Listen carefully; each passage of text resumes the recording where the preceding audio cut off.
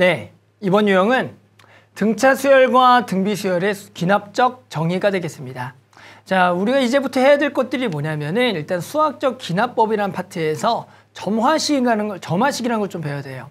점화식이란 건 뭐냐면은 AN과 AN 플러스의 관계를 통해서 그런 식이 나왔을 때 우리가 앞에서 배웠던 등차 또는 등비 수열 또는 어떤 다른 수열에 대해서 그 규칙성을 표현된 식을 점화식이라고 해요.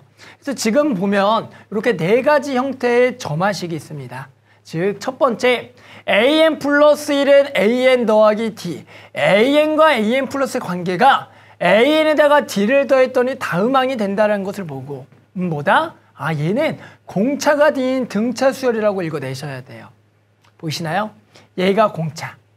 얘가 결국엔 등차 수열이다. 두 번째, 이 an 플러스 1은 an 더하기 an 플러스 2라 그래서요. n번째 항하고 n 플러스 2번째 항은 n 플러스 1번째 항의 두 배가 항상 성립하는 우리가 일명 등차중항이라고 얘기했던 거죠. 그것이 결국엔 성립하는 그 관계식 나오면 아, 얘도 등차 수열이다. 자, 세 번째는 an에다가 r을 곱했더니 an 플러스 1이 됐구나. n번째에다가 r 곱했더니 an 플러스 되면 얘는 공비가 r인 등비 수열. An 플러스 1의 제곱은 an 곱하기 an 플러스 1이 가운데 거의 제곱이 양쪽 낀 거의 곱이 된다면 우리가 이면 등비 중앙이라고 불렀던 거죠. 그것이 나오면 등비 수열이다. 이런 식으로 일단은 음, 그런 an과 an 플러스 1의 관계가 이런 식으로 주어졌을 때 우리는 뭐다? 등차 또는 등비라는 것을 곧바로 아셔야 되고요. 요 두 가지 형태가 나와서 당연히 일반항을 물어볼 거고 일반항을 구하라 그러면 an은 첫째 항 플러스 n-1 뒤로 일반항을 구하면 되겠고 이렇게 주어지면 등비 수열이기 때문에 a에는 첫째 항 곱하기 공비의 n-1승이라고 구해주면 된다는 거예요. 아셨어요? 그래서 일단은 요 두 가지 형태의 등차와 등비꼴에 대한 점화식을 보고 등차인지 등비인지를 판별해서 풀어주는 문제 유형이 나올 겁니다. 됐죠? 자, 그래서 예시 문제 선생님과 같이 하나 풀어보겠습니다.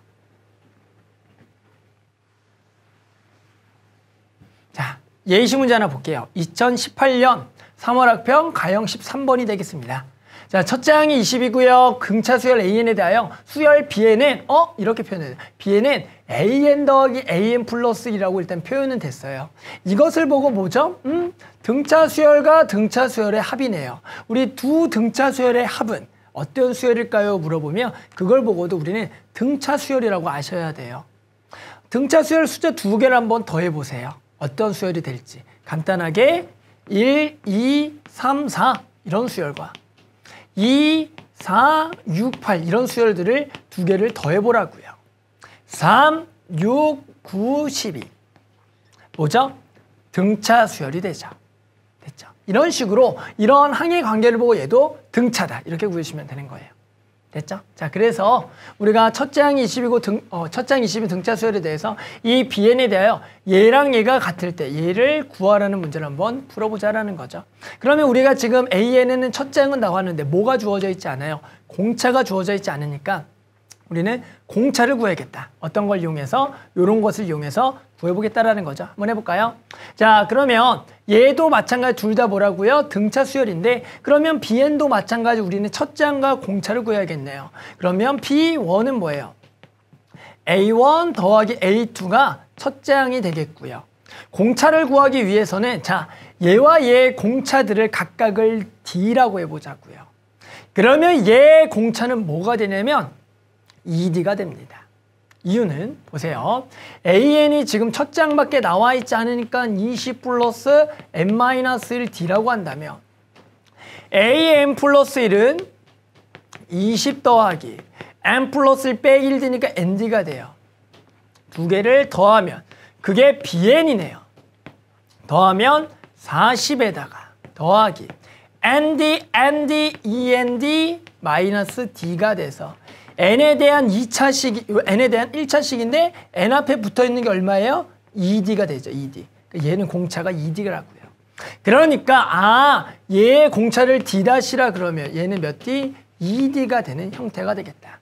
얘를 보고 우리가 뭐라 이걸 통해서 어, 공차를 구해주면 될 겁니다. 가볼까요? 그러면 열 번째야. A 열 번째 항은 당연히 뭐예요? 첫 장 플러스 9D가 되겠죠.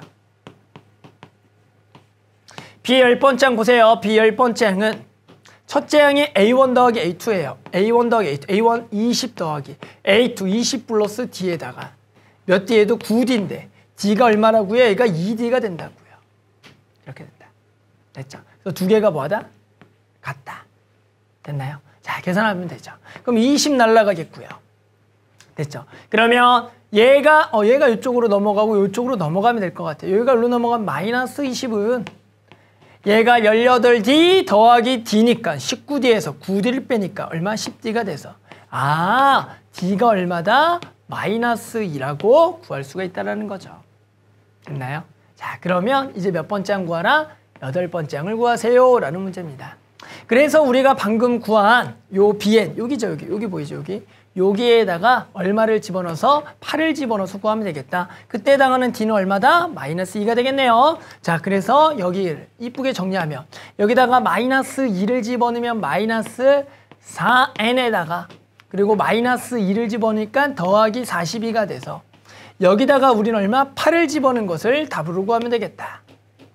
그래서 B8은 마이너스 30이니까 얼마? 10이 돼서 아 우리는 여덟 번째 항이 얼마다? 10이라고 구할 수 있는 문제가 되겠습니다. 자 이번 문제는 실제로는 앞에서 배웠던 점화시, 등차 또는 등비 수열을 직접 이용하는 문제는 아니었어요. 하지만 지금도 어떤 그 항의 관계가 이런 식으로 주어졌을 때 이것을 또 등차 수열 더하기 등차 수열이 등차 수열을 파악하는 어떤 점화식이 나왔다는 겁니다. 앞으로 우리가 다양한 점화식이 나올 거예요. 그것을 보고 이것이 어떤 수열인지를 판단해서 우리는 그 규칙을 통해서 풀어주는 문제가 나올 테니까 꼭 그대로 등차 등비뿐만 아니라 다양한 게 나오니까 꼭 몇 가지 숫자를 써보면서 그 규칙을 파악하는데 중점을 두고 풀어야지만 이번 유형 문제들을 풀 수가 있을 겁니다.